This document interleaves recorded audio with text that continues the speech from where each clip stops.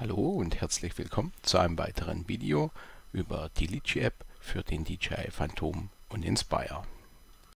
In diesem Teil möchte ich einmal auf die umfangreichen Einstellungsmöglichkeiten der Litchi App eingehen, als auch darauf, was müssen wir in der Go App einstellen und welche erweiterten Einstellmöglichkeiten haben wir in der Litchi App. Da dieses Tutorial etwas umfangreicher werden wird, habe ich zu Beginn hier für euch ein Template erstellt, so dass wenn ihr direkt zu einem bestimmten Thema hüpfen wollt, dies auch einfach und schnell tun könnt. Viel Spaß beim Ansehen.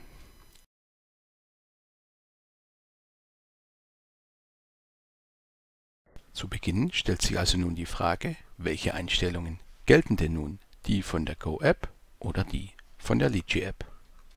Ganz allgemein verhält es sich so, dass egal in welcher App Einstellungen vorgenommen werden, diese grundlegend auf dem Copter gespeichert werden und so lange gültig sind, bis sie erneut überschrieben werden.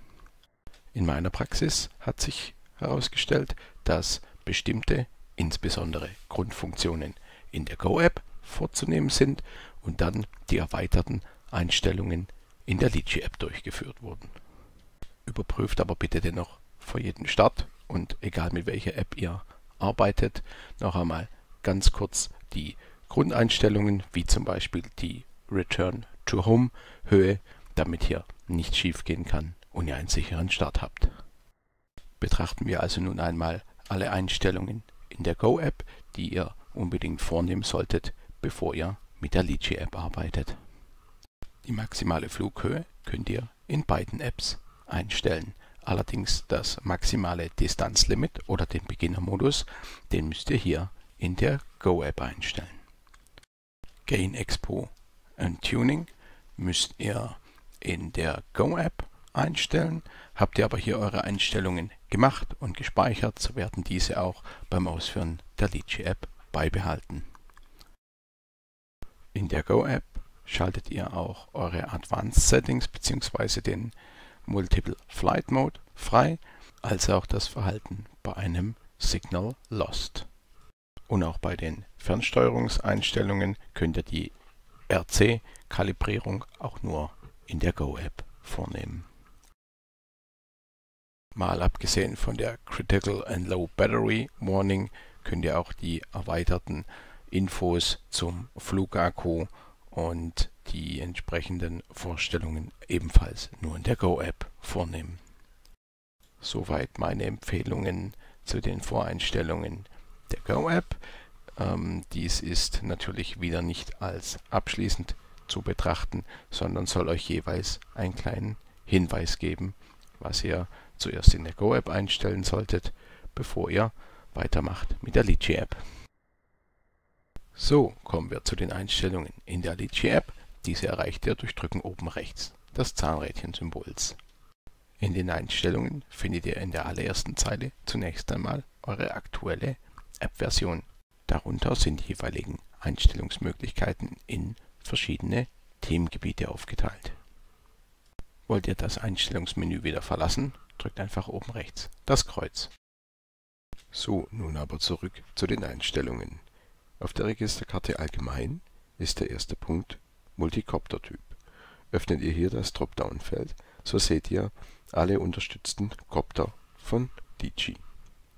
Was im Umkehrschluss auch bedeutet, dass alle Copter, die hier nicht aufgeführt sind, auch nicht von Litchi unterstützt werden. Im nächsten Punkt könnt ihr zwischen imperialen und metrischen Einheiten wechseln. Wählt ihr imperiale Einheiten, so habt ihr unten die Höhen- und Entfernungsangabe in Feet sowie das Tempo in Miles per Hour, also Meilen pro Stunde. Ein Feet, also sprich ein Fuß, entspricht ca. 30 cm, während eine Meile ca. 1,6 Kilometern entsprechen. Bei uns in Europa bevorzuge ich dann doch aber lieber die Meterangaben. Bei den nächsten beiden Punkten könnt ihr zur Akkuladung noch zusätzlich die Akkuspannung anzeigen lassen und zu den Telemetriedaten zusätzlich noch die aktuellen GPS-Koordinaten. Ihr seht nun oben rechts unter der Flugakkuspannung in Prozent auch noch die aktuelle Voltzahl. Unten links werden die Telemetriedatenbezeichnungen abgekürzt und zusätzlich noch der Breitengrad und der Längengrad eingefügt. Um hier aber den vollen Längengrad einsehen zu können, müsst ihr das recht untere Vorschaubild minimieren. Ob es Sinn macht, sich hier die Breiten- und Längengrade einblenden zu lassen, um sie dann eventuell mit einem Stift abschreiben zu können, um auf ein anderes Gerät zu übertragen? Hm, gut, naja, liegt vielleicht im Auge des Betrachters. In der nächsten Zeile könnt ihr nun den Kartentyp wählen. Also sprich die Standardansicht, die Satellitenansicht oder die Hybridansicht, wo in die Satellitenansicht hinein die Wege und Straßennamen mit zusätzlich aufgenommen werden. Ich persönlich präferiere diese Hybridansicht, da auf der einen Seite die ganz normalen Straßen und Wege etc. eingezeichnet sind, aber auch durch das Satellitenbild natürlich ähm, flugrelevante Hindernisse wie hier ein See, Bäume, Gebäude, Zugschienen, Flussverläufe, Hochspannungsleitungen etc. ersichtlich sind. Im nächsten Punkt könnt ihr den automatischen Kartenzoom aktivieren, sprich Fliegt ihr schneller mit eurem Kopter, so zoomt die Karte ein Stück heraus. Fliegt ihr wieder etwas langsamer, so zoomt die Karte automatisch wieder hinein. Ich persönlich halte das für ein sehr cooles Feature, daher habe ich das aktiviert. Im nächsten Punkt könnt ihr den Sicherheitsradius auf der Karte angeben. Hier zum Beispiel 200 Meter. Der 200 Radiusmeter wird dann mit diesem hier sichtbaren roten Kreis um euch herum optisch angezeigt. Bitte seid euch bewusst, dass es hier um sich um eine rein optische Begrenzung handelt. Fliegt ihr an den Radiusrand hin, könnt ihr auch drüber hinausfliegen. Es ist keine Begrenzung im Sinne von Geofencing. Wollt ihr eine absolute Entfernungsbeschränkung eintragen, so müsst ihr das in der Go-App machen, wie eingangs beschrieben. Im nächsten Punkt findet ihr die Finde meinen Multicopter-Funktion. Tippt ihr diese an, so öffnet sich die Karte und zeigt euch mittig mit dem blauen Kreis die Position an, die Litchi als letztes wusste, wo sich euer Kopter befindet. Dies ist insbesondere dann hilfreich, wenn ihr mal einen Flyaway habt oder abrupt ähm, die Connection zu eurem Kopter abreißt und ihr diesen suchen müsst. Als kleiner Tipp wollt ihr auch hier den Kartentyp anders haben, so geht einfach wieder in die Einstellungen zu Kartentyp, wechselt zu dem Kartentyp, den ihr haben wollt und führt erneut die Finde meine Copter Funktion aus. Dann könnt ihr auch so wie hier zum Beispiel anhand einer Satellitenkarte suchen. Zweiter Hinweis, dieser blaue Kreis der hier angedeutet ist um den inneren Kreis, gibt an, wie hoch bei der, beim letzten Signal die Messvarianz des GPS war und gibt euch in etwa an, in welchem Radius ihr dann tatsächlich suchen müsst. In der Zeile Alle Einstellungen zurücksetzen könnt ihr, wie der Name schon sagt, alle Litchi-Einstellungen wieder auf Ausgangsposition, sprich auf Werkseinstellung zurücksetzen.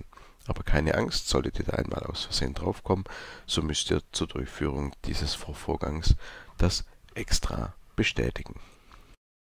Drückt ihr auf Hilfe, so werdet ihr automatisch mit der aktuellen Hilfe-Webpage von Litchi verbunden.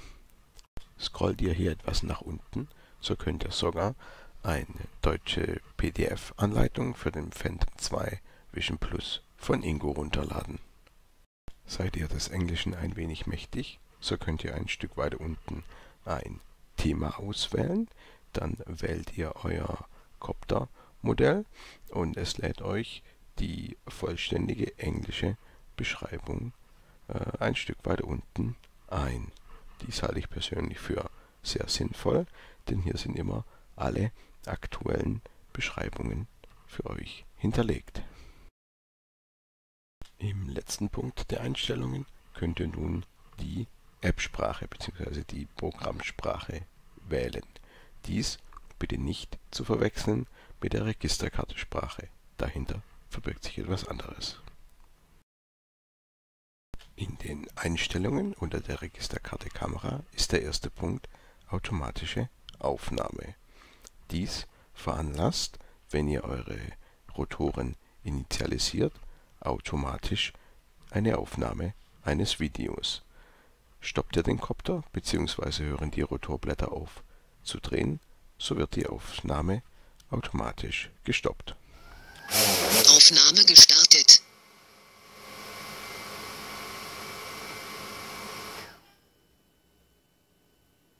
Aufnahme gestoppt. Ich persönlich habe dieses Feature immer aktiviert, so kann ich nie vergessen, auf die Aufnahmetaste zu drücken. Voraussetzung hierfür ist vielleicht eine ausreichend große SD-Karte in eurem Kopter. Wollt ihr auch trotz äh, automatisch gestarteter Aufnahme unterwegs möglicherweise äh, ein paar Fotos schießen, so könnt ihr selbstverständlich auch während dem Flug einfach auf den Record-Button drücken, dann stoppt die Aufnahme, ihr könnt eure Fotos machen, wollt ihr dann wieder ein Video weiterlaufen lassen, aktiviert ihr einfach wieder manuell das Video, solange äh, bis ihr wieder gelandet seid. Wenn ihr dann die Rotoren deaktiviert, ist auch die Aufnahme wieder automatisch gestoppt. Kleiner Hinweis, auch in Autonomflügen funktioniert äh, diese Funktion, sprich startet der Copter, aktiviert er das, das Video, kehrt er zu seinem Homepoint zurück, landet er, drosselt die Rotorblätter runter, dann stoppt er auch automatisch das zuvor gestartete Video. Im nächsten Punkt Videoformat könnt ihr wählen, in welchem Format grundlegend die in Litchi erzeugten Videos auf der SD-Karte im Copter abgespeichert werden sollen. Ich persönlich bevorzuge das MP4-Format, das ist aber meines Erachtens Geschmackssache. Ihr könnt genauso gut auch das MOV-Format wählen, mögen das die Video- und ETV-Spezialisten unter uns entscheiden. Die Kamerakontrollen sind standardgemäß aktiviert und im Live-Bild eingeblendet. Benötigt ihr dies nicht direkt im Live-Bild an der App, da ihr alles über die Fernsteuerung managt und steuert, sprich ähm, Fotoaufnahmen macht, die Belichtungskompensation hoch und runter dreht oder Videos startet und stoppt, so äh, könnt ihr hier dies entfernen und habt einen besseren, klareren Blick im Live-View. Gemäß dem Motto weniger ist mehr. Im nächsten Punkt könnt ihr die Hilfslinien im Live-View aktivieren bzw. deaktivieren. Hier ohne Hilfslinien, dann mit Rasterhilfslinien und mit Rasterhilfslinien und diagonalen Linien. Ich persönlich bevorzuge diese Ansicht, da ich zum einen mit dem normalen Raster den goldenen Schnitt ganz geschickt machen kann. Wenn ich aber dennoch mal was anvisieren möchte, so sind die Diagonalen mit dem Kreuz in der Mitte nicht die schlechteste Wahl. Im nächsten Punkt Vorschauqualität könnt ihr einstellen, mit wie viel Megabytes pro Sekunde das Live-Bild auf eurem Handy dargestellt werden soll. Es wird empfohlen, die Vorschauqualität an die Leistungsstärke eures Handys anzupassen. Sprich, habt ihr ein eher weniger leistungsstarkes Handy, so nehmt ihr einen niedrigeren Wert. Habt ihr ein leistungsstarkes Handy, so könnt ihr auch einen höheren Wert nehmen. Ich persönlich kann mit einem Galaxy S4 problemlos 10 Megabits auswählen. Umso höher natürlich der Wert, umso besser euer Live-Bild am Handy. Im nächsten Punkt Videodecoder könnt ihr wählen, ob euer Live-Bild via Hardware oder via Software oder auch via Hardware für Android mit 6.0 Geräten dekodiert werden soll. Standardgemäß ist hier Software eingestellt, da dieses jedes Handy kann. Ihr solltet aber, wenn möglich und euer Handy die Sache unterstützt, Hardware wählen, da es dann einfach besser dekodiert werden kann. Wollt ihr den VR-Modus ähm, benutzen, so müsst ihr auf jeden Fall auf Hardware-Dekodierung umschalten können. Seid euch aber bewusst, dass nicht jedes Handy die Hardware-Dekodierung unterstützt. Solltet ihr mit einem Android 6.0 Probleme haben mit der Hardware-Dekodierung, so habt ihr hier ja die Möglichkeit, ganz speziell die Hardware Android 6.0 Unterstützung zu aktivieren, dann sollte es auch klappen. Im Punkt Übertragungskanal habt ihr die Möglichkeit, manuell zwischen Kanal 0 und 31 einen speziellen Kanal für euch zu wählen. Oder ihr belasst es bei der Voreinstellung Auto. Das bedeutet, dass der Übertragungskanal jeweils immer automatisch gewählt wird von der Litchi-App. Ich persönlich habe das auch immer auf Auto und hatte damit noch nie Probleme, sodass ich keinen besonderen Sinn aktuell hierin sehe, einen manuellen Kanal zu wählen. Im nächsten Punkt, duale Ausgabe HDMI, könnt ihr den HDMI-Port, wenn vorhanden, an eurer Fernbedienung zusätzlich zur Ausgabe an der App aktivieren. Dies benötigt ihr insbesondere dann, wenn ihr neben der App an die Fernsteuerung ein sekundares Ausgabegerät, zum Beispiel eine FPV-Brille oder einen Rekorder anschließen möchtet. Benutzt ihr aktuell kein sekundares Ausgabegerät oder habt ihr gar keinen HDMI-Ausgang, so ist diese Einstellung zu deaktivieren. Im letzten Punkt könnt ihr die im Copter befindliche SD-Karte über die Fernsteuerung bzw. über die App formatieren. Dies funktioniert auch dann, wenn der Copter bereits in der Luft ist. Bevor die Löschung aller sich auf der SD-Karte befindlichen Daten durchgeführt wird, müsst ihr dies separat bestätigen. Bei Einstellungen in der Registerkarte Multicopter ist der erste Punkt die Heimflughöhe, sprich die Höhe, auf die der Copter mindestens aufsteigt, wenn ihr die Return-to-Home-Funktion auslöst. Diese Höhe sollte logischerweise höher sein als alle in eurem Fluggebiet sich befindlichen Objekte wie Bäume, Brücken, Stromleitungen, Häuser etc. Im zweiten Punkt Maximale Höhe könnt ihr die Höhe eintragen, die euer Kopter nicht überschreiten soll. Sprich, egal was ihr tut, der Kopter wird über dieses Höhenlimit nicht drüber hinausfliegen, da ihr euren Luftraum nach oben hin gedeckelt habt. Wollt ihr kein Höhenlimit haben, so habt ihr die Möglichkeit, die maximal per Firmware zulässige Höhe von 500 Metern hier einzutragen. Über die 500 Meter werdet ihr in keinem Fall kommen. Aktiviert ihr die Funktion dynamischer Homepunkt, so bleibt euer Homepunkt nicht wie gewohnt gesetzt an dem Punkt, wo der Kopter gestartet ist, sondern bewegt sich permanent mit euch und orientiert sich dann an den Koordinaten, wo sich euer Handy bzw. ihr mit eurer Fernsteuerung aktuell befinden. Diese Koordinaten werden dann permanent im Copter geupdatet. Löst ihr dann also die Return-to-Home-Funktion aus, dann wird er genau an diesem Punkt zurückkommen, was die letzte Positionsübertragung zum Copter war. Dies ist natürlich dann besonders empfehlenswert, wenn ihr gerade mit der Follow-Me-Funktion unterwegs seid oder auch so, wie man es ja vielleicht manchmal einmacht, den Copter vor euch herfliegen lässt und ihr mit diesem spazieren geht. Im nächsten Punkt könnt ihr die Kompasskalibrierung einleiten. Hierzu wählt ihr eine freie Fläche ohne Einfluss von Magnet oder Metall und dreht den Kopter zunächst ähm, horizontal um die eigene Achse und anschließend vertikal um die eigene Achse.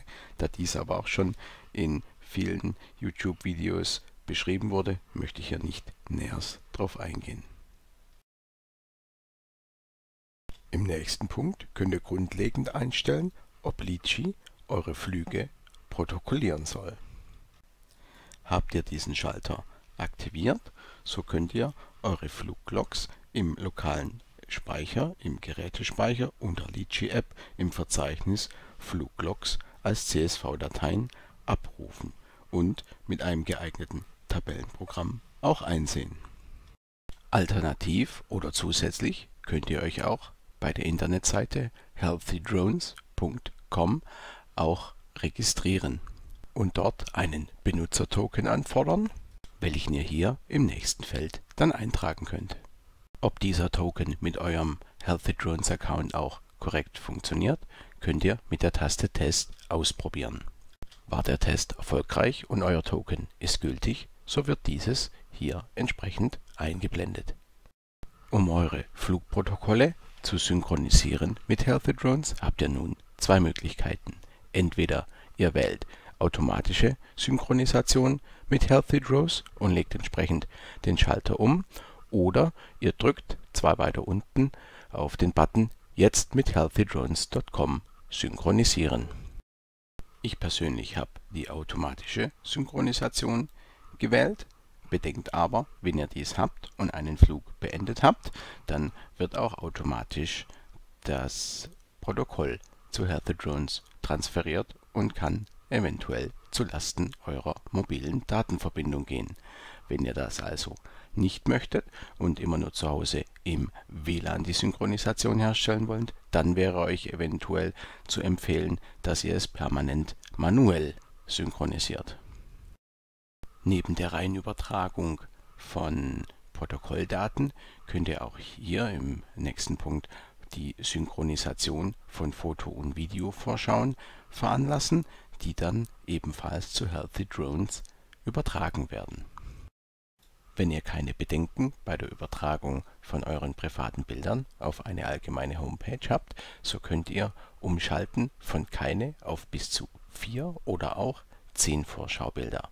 Bedenkt bitte hierbei, durch die Übermittlung dieser Bilder erhöht sich natürlich entsprechend das Datenübertragungsvolumen. Wenn die Datenübertragung zu Healthy Drones ordnungsgemäß funktioniert hat, dann könnt ihr eure Fluglogs unter dem Reiter My Logs entsprechend abrufen. Eure einzelnen Flüge könnt ihr hier am linken Rand chronologisch aufgelistet aufrufen.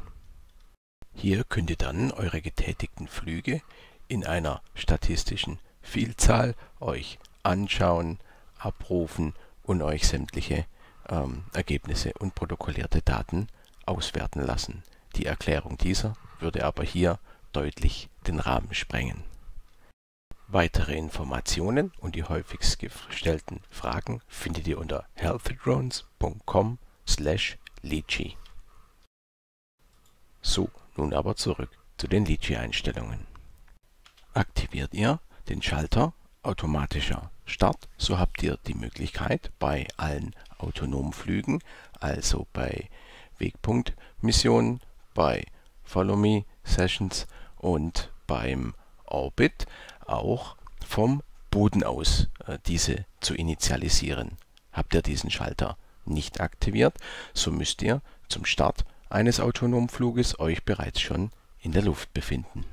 Ich persönlich finde das ein cooles Feature, wie ihr auch in meinen anderen Erläuterungsvideos schon gesehen habt. Da habe ich zum Beispiel auch schon das ein oder das andere Mal den autonomen Flug bereits am Boden automatisch den Kopter initialisieren lassen. Bei den nächsten beiden Punkten der Minimal- und maximal wählbaren Höhe könnt ihr die minimale Autonomflughöhe und die maximale Autonomflughöhe einstellen. Bitte bedenkt, hierbei dreht es sich nur um den Autonomflug. Dies hat nichts mit einer allgemein minimal oder allgemeinen Maximalhöhe zu tun, wie wir es zuvor schon hatten. Die Einstellung maximale Positionsgenauigkeit bezieht sich ausschließlich auf den Follow-Me-Modus. Der hier eingetragene Wert bezieht sich also darauf, wie ungenau maximal euer Handy sein darf, damit der Follow-Me-Modus ordnungsgemäß ablaufen kann. Hat euer Handy also eine höhere Ungenauigkeit als 15 Meter, so werdet ihr den Follow-Me-Modus nicht initialisieren können. Erhöht sich die Ungenauigkeit eures Handys während einer Follow-Me-Session, so wird der Copter hovern so lange, bis die Positionsungenauigkeit von 15 Metern erneut unterschritten ist und erst dann den Follow-Me-Modus weiter fortfahren. Je nachdem, wie genau euer Handy die Position ermitteln kann oder vielleicht auch, wenn euch die exakte Follow-Me-Position nicht ganz so wichtig ist, könnt ihr natürlich diesen Wert nach oben setzen. Andersrum natürlich auch, legt ihr auf eine hohe Akkuratität zwischen eurer Position und der relativen Kopterposition Wert, so könnt ihr natürlich auch diesen Wert weiter nach unten setzen. Bedenkt aber dann auch, entsprechend muss euer Handy exakt die Position wiedergeben können. Aktiviert ihr den Schalter bei Gimbal FPF-Modus, so könnt ihr die Seitwärtsausgleichsbewegung eures Gimbal deaktivieren. Das heißt, wenn ihr dann eine Kurve fliegt, dann habt ihr auch eine Krängung im Live-Bild. Dies kann zur Intensivierung des Fluggefühls, insbesondere im Virtual Reality Modus, beitragen. Kurze Anmerkung, es war mir persönlich leider noch nicht möglich, diesen Modus auch tatsächlich zu aktivieren. Sprich, unabhängig davon, ob dieser Punkt aktiviert oder deaktiviert war, konnte ich die Ausgleichsbewegung meines Gimbals nicht ausschalten. Als letzten Punkt haben wir die Gimbal-Gestensteuerung. Habt ihr diese aktiviert, so könnt ihr mit dem Finger auf dem Live-Bild von oben nach unten fahren und der Gimbal ändert seine Neigungswinkel. Bei den Einstellungen unter der Registerkarte Sprache könnt ihr im ersten Punkt grundsätzlich die Sprachausgabe aktivieren oder auch deaktivieren. Im Feld darunter könnt ihr das Rückmeldungsintervall angeben in Sekunden. In diesem Intervall werden dann alle Informationen, die hier mit Minus Rückmeldung benannt sind und wo hinten der Schalter entsprechend aktiviert ist, die entsprechende Rückmeldung euch akustisch gegeben. Je nachdem, was sie alles auf einmal aktiviert hat, hört sich eine solche Meldung in etwa so an. 0 Meter Höhe. 0 Meter Entfernung. 0 Kilometer pro Stunde. 42 Prozent Akku. Ob das einem gefällt oder nicht, bleibt jedem persönlich überlassen. Ich für meinen Teil habe die Informationen auf meinem Handy und habe daher im Regelfall diese Rückmeldungen alle deaktiviert. Anders verhält sich dieser Sachverhalt natürlich bei Warnungen. Sprich, wenn euer kritischer Flugakkustand unterschritten ist, die Funkverbindung zu eurem Kopter abgerissen ist und so weiter und so fort. Dann halte ich es natürlich persönlich für sehr sinnvoll, wenn dann zusätzlich eine akustische Warnung kommt und hier können wir bei Warnungsintervall dann einstellen, wenn der Tatbestand zum Beispiel einer abgerissenen Funkverbindung nach wie vor besteht, in welchem Sekundentakt das akustisch wiederholt werden soll. Zusätzlich können wir angeben, ab welchem Flugakku-Prozentsatz ähm, eine akustische Warnung ausgegeben werden soll. Hier ist standardgemäß 25% voreingestellt. Das halte ich persönlich für gut, weil dann bekomme ich beim Fliegen, auch wenn ich konzentriert bin, nochmal einen extra Hinweis, wo ich dann weiß, okay, drei Viertel der Flugakkuladung sind durch, ich sollte mich langsam um den Heimflug kümmern. Ähnlich verhält es sich, wenn eine gewisse Anzahl an Satelliten unterschritten wurde. Hier voreingestellt 6. Dann erhalte ich ebenfalls eine Warnung und muss mich möglicherweise darauf einstellen, dass der Kopter seine Position nicht mehr so exakt halten kann, da ihm einfach die entsprechenden Positionsangaben fehlen und ich mich auf einen manuellen Flug, eventuell sogar auf den Heimflug zu konzentrieren habe. Bei den Einstellungen unter der Registerkarte Tasten haben wir die Möglichkeit, die Fernsteuerungstasten C1 und C2, die sich auf der Rückseite unserer Fernbedienung befinden, sprich C1 ist an unserer linken Hand auf der Rückseite, C2 ist an unserer rechten Hand auf der Rückseite der Fernbedienung, diese individuell pro Flugmodus zu setzen. Sprich im Gegensatz zur Go-App, wo wir einmalig und auch unabhängig in welchem Flugmodus wir uns befinden, diese Tasten mit individuellen Funktionen belegen können, haben wir hier in Litchi die Möglichkeit, tatsächlich ähm, für jeden einzelnen Flugmodus uns zu überlegen, was wäre denn geschickt, wenn wir bei dem und dem und dem Modus die Tasten C1 und C2 so oder so belegen würden. Auf der linken Spaltenseite seht ihr dann also immer untereinander C1 und C2 und dahinter der entsprechende Flugmodus. Hier FPV, sprich First Person View, wäre der in Anführungszeichen normale Modus, welcher aktiviert ist, wenn ihr Litchi startet. Wollt ihr nun für diesen Modus eine individuelle Taste belegen, so tippt einfach rechts auf das Dropdown-Feld.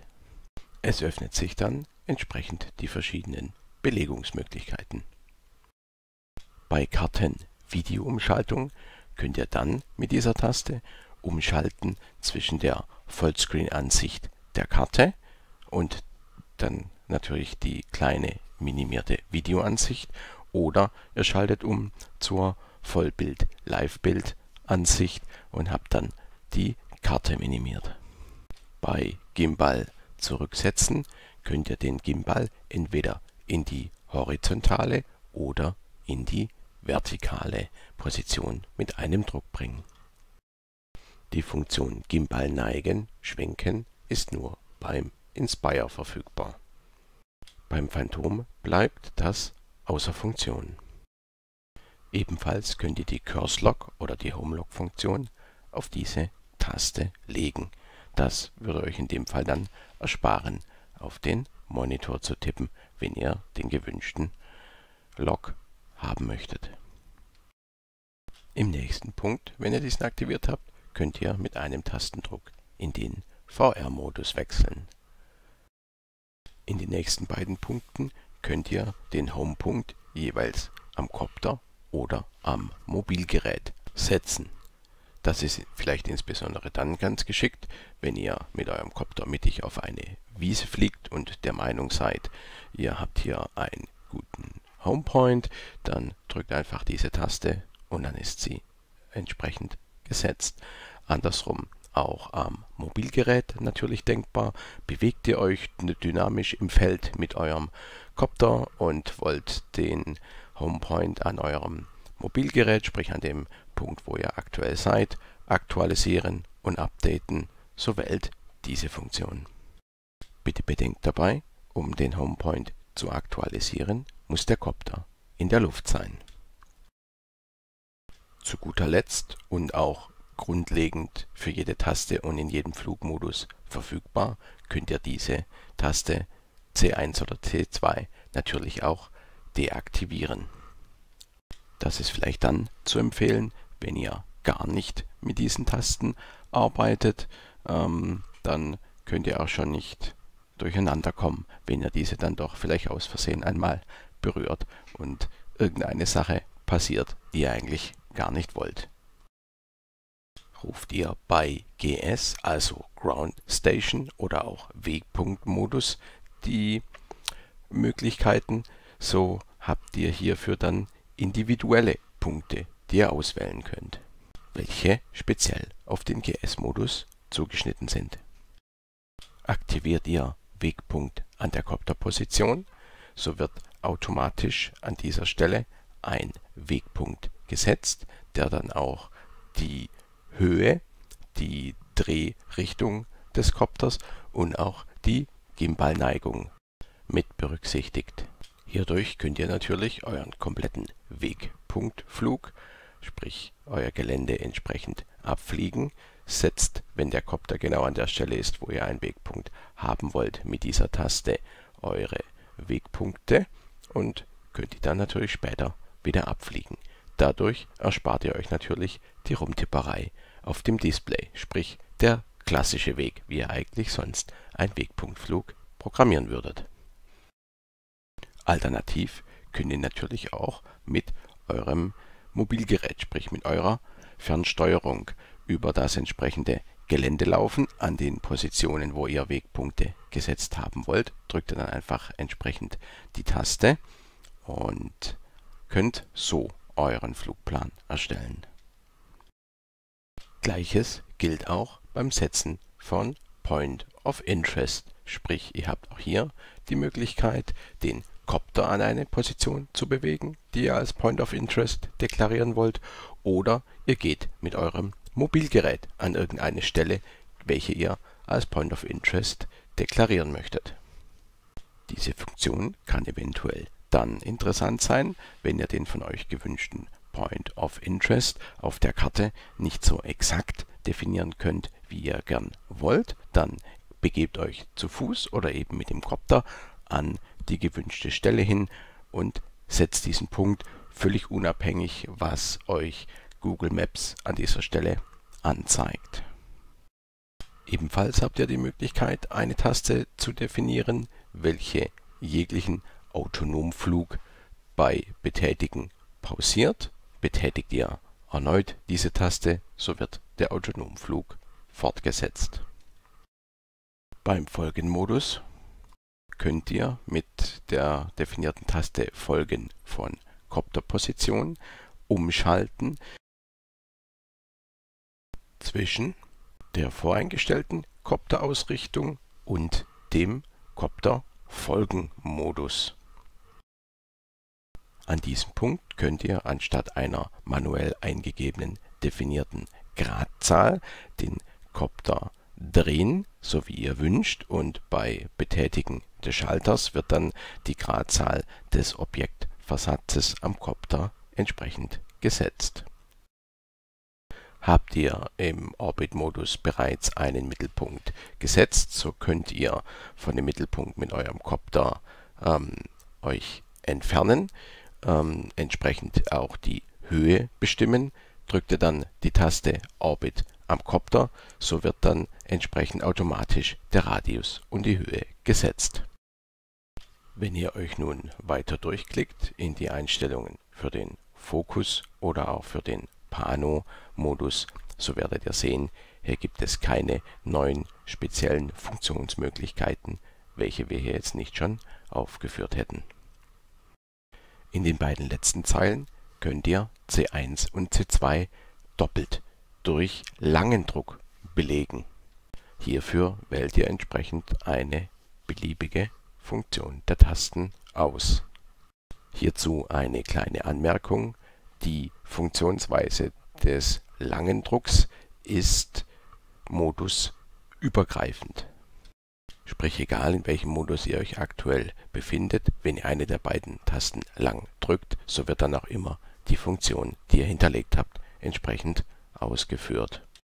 Vielleicht als kleinen Tipp, ich habe mir hier den Homelock-Modus draufgelegt, sodass, falls ich tatsächlich mal ein bisschen durcheinander komme, auch mit der Drehung und Ausrichtung meines Kopters im Sichtflug, dann weiß ich ganz genau, wenn ich die C1 lange drücke, schalte ich automatisch in den Homelock-Modus und hab's dann natürlich leichter, den Kopter wieder nach Hause zu bringen. Auf langes Drücken C2 habe ich mir den Virtual Reality Modus gelegt, sodass wenn ich zum Beispiel einmal die Virtual Reality Brille komplett zusammenbaue und das Handy einfach schon ähm, in der Brille drin ist und äh, ich nicht das extra nochmal aufmachen möchte, um umzuschalten, so weiß ich, drücke ich einfach lange C2, dann schaltet er automatisch in den Virtual Reality Modus. So, das war soweit zu den Tastenbelegungsmöglichkeiten. Ich persönlich, mir ist auch noch aufgefallen, ähm, wenn man so viele verschiedenartige belegte Tasten hat in verschiedenen Modi, naja, man kommt vielleicht doch gern einmal etwas durcheinander. Ich habe die Sache daher so gemacht, ich habe einfach in jedem Modus die Tastenbelegung gleich eingestellt und komme somit auch ganz gut klar. So, dann sind wir am Ende meines bisher tatsächlich längsten Videos. Ich hoffe, ich konnte euch auch dieses Mal wieder die Sachverhalte so gut als möglich erklären. Ich habe mir zumindest redlich Mühe gegeben und auch keine Zeit und keinen Aufwand gescheut und wünsche euch natürlich wie immer viel Spaß beim Ausprobieren und Fliegen.